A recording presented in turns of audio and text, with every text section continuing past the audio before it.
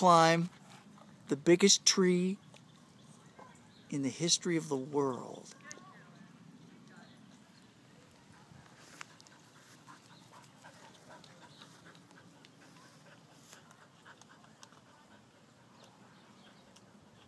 Oh my.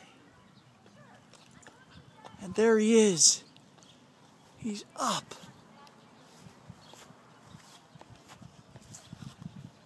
He's done it.